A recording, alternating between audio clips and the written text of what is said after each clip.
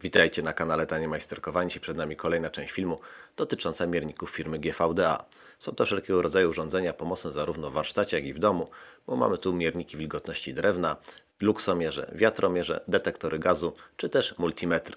Za pomocą tych multimetrów, którym przyjrzymy się dzisiaj, możemy wykonywać cały szereg pomiarów elektrycznych, ale możemy też wykorzystać je do takiej prozaicznej czynności, która spędza sens powiek wszystkim miłośnikom dekoracji świątecznych, jakim jest sprawdzenie lampek choinkowych. Jeżeli jesteście ciekawi, jak to zrobić właśnie za pomocą takiego multimetru, to zapraszam na film.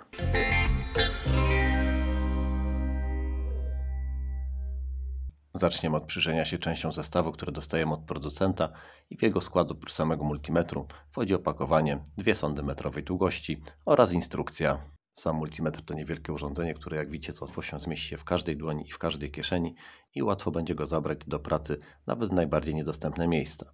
Jeżeli chodzi o zasilanie, to mam tutaj zasilanie za pomocą dwóch baterii paluszkowych typu AA. Montujemy je tutaj z tyłu pod klapką, a sam miernik oprócz takich podstawowych funkcji związanych z pomiarami prądu wyposażony jest również w dość silną latarkę. Na wyświetlaczu oprócz samych parametrów związanych z mierzonymi obwodami elektrycznymi mamy również informacje o aktualnej temperaturze. Bezpośrednio pod wyświetlaczem mamy trzy przyciski, za pomocą których będziemy zmieniać metody pomiarowe. W tej chwili urządzenie ustawione jest w trybie auto, także możemy zarówno mierzyć nim rezystancję, napięcie prądu stałego, jak i napięcie prądu przemiennego, bez konieczności wykonania żadnych dodatkowych operacji, ale to pokażę za chwilę. Od spodu mam dwa gniazda, do których będziemy podpinać sądy pomiarowe, ale tym też zajmiemy się za chwilę. Natomiast od góry mamy bezprzewodowy detektor napięcia i ten właśnie posłuży nam do diagnozy lampek choinkowych. Lampki choinkowe to nic innego jak obwód żarówek połączonych szeregowo i w momencie, gdy któraś z nich nam wysiądzie, to po prostu gasną wszystkie. Problem w tym, że na pierwszy rzut oka ciężko zdiagnozować, która to lampka nam wysiadła i przeważnie naprawa polega na tym, że bierzemy jedną żarówkę i po kolei zmieniamy jedną za drugą, aż w końcu trafimy na tą, która się spaliła. Niestety jest to bardzo czasochłonne, szczególnie w przypadku, gdy tych lampek mamy na przykład 500. Zasymulujmy w tej chwili taką awarię, wyciągając jedną lampkę, na przykład tą. Jak widzicie, wszystko zgasło. No i teraz oczywiście wiemy, że to jest ta lampka, ale w momencie, gdy ona by była przepalona, przepalony byłby żarnik, to już tak oczywiste by to nie było. Jak w takim razie za pomocą tego multimetru zdiagnozować, która żarówka jest uszkodzona, w którym miejscu tego przewodu? W bardzo prosty sposób. Naciskamy przycisk V Alert. W tym momencie aktywuje nam się detektor bezprzewodowy i wystarczy będziemy przejeżdżać naszym czujnikiem wzdłuż przewodu, zaczynając od strony, której jest zasilany i szukać miejsca, w którym nasz sygnał się skończy. Tu już przejadę dalej, bo wiem, w którym jest ta żarówka. I widzicie, tutaj niestety już dalej nie ma prądu, także wiemy, że awaria nastąpiła w tym miejscu. Włączamy żarówkę z powrotem i wszystko działa na nowo. Ok, przejdźmy w takim razie do innych rzeczy, które możemy robić za pomocą tego multimetru i do tego potrzebne nam będą już sondy. Sondy, tak jak mówiłem, zakładam tutaj od spodu w specjalne gniazda, sonda czerwona i sonda czarna. Jeżeli chodzi o końcówki tych sond, to mamy je zabezpieczone w ten sposób, że przy jakichś delikatniejszych pracach możemy korzystać tylko z samych końcóweczek, tak żeby przypadkowo nie doprowadzić do jakiegoś zwarcia, ale gdy potrzebne nam są całej długości, to po prostu sobie te elementy ściągamy i w tym momencie możemy już działać takimi dłuższymi końcówkami. W momencie uruchomienia nasz miernik startuje w trybie automatycznym i wtedy możemy za jego pomocą robić różne pomiary bez konieczności jakiegokolwiek przełączania. Możemy na przykład zmierzyć sobie napięcie prądu stałego tej bateryjki 9V i jak widzicie jest prawie 9V, nawet troszeczkę więcej. Możemy też od razu przejść do mierzenia prądu przemiennego. I jak widzicie mamy w tej chwili 227V. Ekran zapalił nam się na czerwono, ostrzegając, że jest to napięcie wysokie. Ale możemy też przejść od razu do mierzenia rezystancji. Tutaj mamy taki niewielki opornik. I jak widzicie, również zostało zmierzone, że rezystancja tego rezystora wynosi ponad 200 ohmów. Oprócz trybu automatycznego mamy również bardziej selektywne tryby. Je włączamy za pomocą tego przycisku Cell i wtedy możemy dokonywać bardziej dokładnych pomiarów. W tym momencie mamy tryb Live, który służy do wykrywania przewodów prądowych. To dokonujemy za pomocą jednej sondy. Dotykamy teraz przewodów, aby sprawdzić, który z nich jest pod napięciem. Tutaj nic nie mamy, tutaj nic nie mamy, Natomiast tutaj mamy przewód prądowy. Urządzenie w tej chwili działa tak naprawdę jako zwykły próbnik napięcia, ale jak widzicie zawsze warto to sprawdzić, ponieważ w tym kablu akurat te przewody są podłączone zupełnie na odwrót.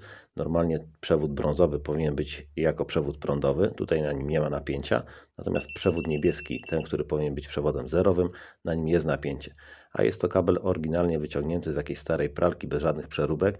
Ktoś po prostu pomylił w momencie montowania te końcówki i dlatego napięcie mamy nie na tym przewodzie, na którym byśmy się spodziewali. Dlatego taki pomiar zawsze warto zrobić na początku, żebyśmy później przez jakąś naszą nieuwagę, czy też nieuwagę jakiejś osoby, która wcześniej zajmowała się tym kablem, nie zostali po prostu porażeni. Kolejne naciśnięcie przycisku cell włącza nam tryb pomiaru rezystancji. Tak naprawdę mam tutaj dwa tryby. Jeden z takich pomiarów ogólnych, za jego pomocą możemy sobie sprawdzić y, rezystancję danego rezystora, natomiast drugi to sprawdzanie ciągłości obwodów.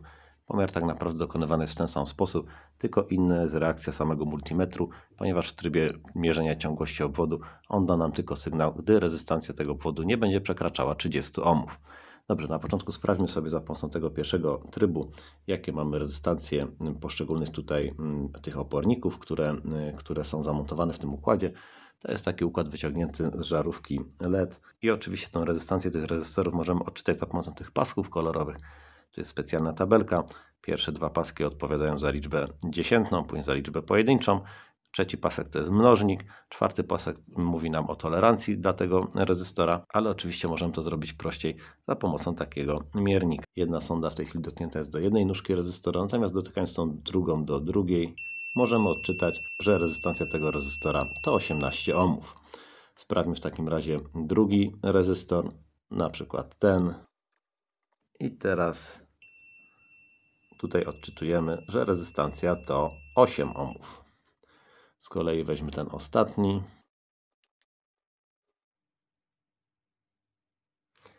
I tutaj tych ohmów mamy już 150.